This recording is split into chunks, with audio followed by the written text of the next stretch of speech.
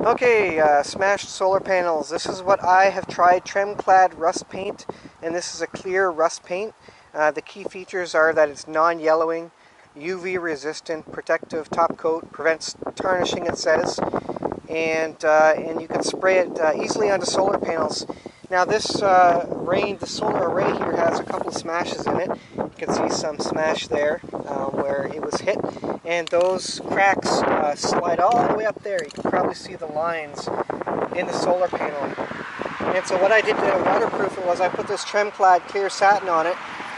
And if, if you look along the edge of it, I don't know if you can see it in the camera, but trip lines where the uh, Tremclad came on down. Each of these have some smashes too, you can see up in the corner.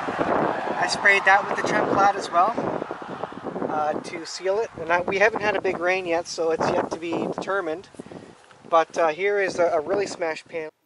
Bunch of wind noise there. What I was saying was I sprayed this whole area on the test panel, which was uh, really smashed, just to see if it would seal it. Now, we haven't had rain yet, uh, so that's yet to be determined. Um, but at least it doesn't make the, the surface of it opaque. Uh, the sun can still get through, um, but the uh, performance of them may not uh, be as uh, I uh, as originally uh, stated, of course. These four panels here, which are 395 watts a piece, because um, I've got I've got some trees here that I need to take down. but so far, I will I have not yet determined whether this actually will seal it from the rain.